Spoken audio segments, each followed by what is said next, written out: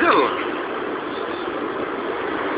Numara ilk zeytte de bana kullanın. Hı hı.